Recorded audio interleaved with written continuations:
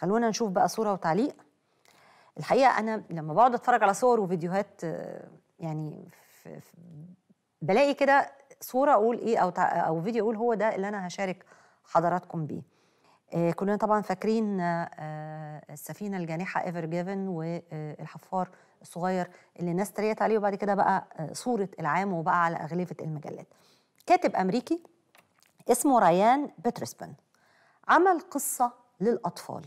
القصة اللي عملها للأطفال دي مستوحاة من السفينة الجانحة والحفار الصغير سماها The Big Ship and the Little Digger. الحقيقة آه، يعني يعني الحفار السفينة الكبيرة والحفار الصغير وكاتب تحت أهو إنها قصة من قناة السويس.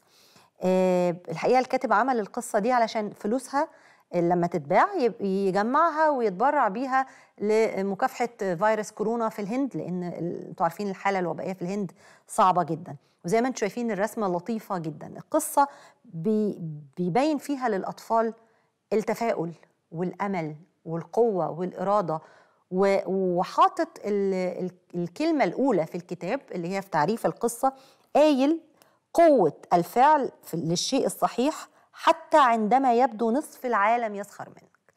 يعني الصورة دي بتبين في القصة دي إنه قوة فعل الشيء الصحيح حتى لو كل العالم يسخر منك.